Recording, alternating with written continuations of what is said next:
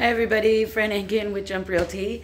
Yes, I'm wearing short sleeves. In Windsor, it's like 80 today, and it's October and Thanksgiving weekend. Welcome to living down south. Anyways, first of all, happy Thanksgiving. Hope you're celebrating and getting pumpkin pie together or whatever you do. Um, gonna be real quick one today because I'm off to do a showing. Um, what is going on with the market? So it's a little slower, it's a little sluggish. Um, part of that is traditional this time of year.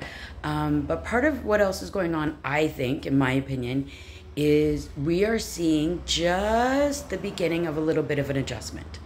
So, a couple things. Number one, the market's not going to crash, prices aren't going to crash. We need to like stop thinking that way and realize that there's a housing shortage. And if you're waiting for prices or interest rates to go down and off a cliff, that's just not reality, which is why, as I said last week, know your numbers, be financially literate, and understand what's going on.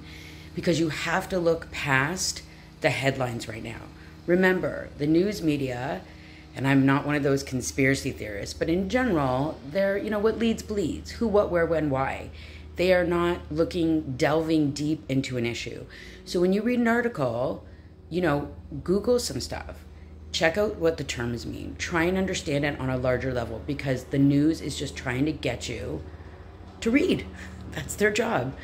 So everybody's saying, where are the buyers? Where are the buyers? Where are the buyers? And all the buyers I'm hearing from are saying, interest rates, interest rates, interest rates. Well, here's the thing these are normal interest rates. This is what normal looks like. They may go down, they may hold on the next announcement, and they may go down a little over time, but they're not going down to 0 1%. So with buyers, if you're buying, you got to look at the forest and the trees, not just what's right in front of you. Higher interest rates means lower sales price, which means a lower mortgage. It also means there's room for conditions, there's room for an adjustment, which is what's happening on the other side with sellers. We're seeing listings being canceled and relisted, canceled and relisted.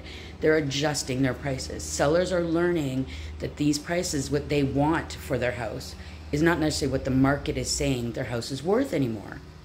You have to be aware of not just your neighborhood, but the city, the province, the strike still going on. Windsor's got a strong market. We've got lots of good investments coming here. These prices are not going to drop hugely. Um, houses below 500,000, that 350 to 5,000 mark are moving. That's traditionally where new first time homeowners get in the market. And they are, they're out looking, they are there. Um, but you have to price according to what the market is telling you, regardless of what you think you want, regardless of what you put into your house. Those things are important but it's all about at the end of the day what hits the table and what people are willing to pay. And I think that's what's going on right now. Everybody's kind of sitting and waiting, and they're going to learn very shortly in the next 30 to 90 days that, you know, they need to adjust. People's mortgages are ballooning. People, there are motivated sellers out there.